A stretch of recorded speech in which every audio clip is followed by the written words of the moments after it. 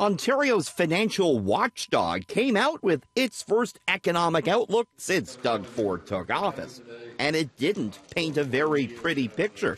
Ontario's budget deficit will more than triple this year to $12.3 billion. That number is $1.2 billion less than what the government projected during the fall economic statement. The FAO also says the government has found savings of just 1.4 billion, not the 3.2 billion it claims. It's a free country; they could claim whatever they want. that's their number, and then and that's how they've chosen it. Green Party leader Mike Schreiner thinks the government is artificially inflating the deficit to justify big cuts down the road. The government is playing political games with the province's books.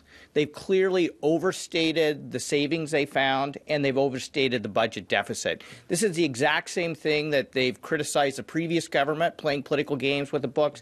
Here we are, we're barely six months into a new government, and they're continuing to play the same kind of political games. Finance Minister Fedeli releasing a statement that reads in part, quote, as we have always said, and as the Financial Accountability Officer confirms, we have inherited a structural deficit from the previous government.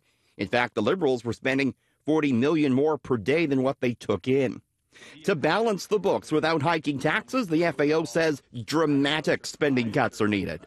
If the government were to choose to balance the budget over four years, exclusively through spending restraint, the FAO estimates that the province would need to limit the growth in program spending to 1.2% this year.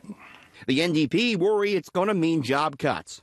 It has to be on the backs of Ontarians, and, and so I think what people are concerned about is these these cuts to get to that balance uh, will not only include jobs, but it will include cuts to things that, that people rely on, you know, like our health care, our education systems. If nothing is done, the FAO report finds the deficit will hit 16 billion by the year 2022. Richard Southern City News.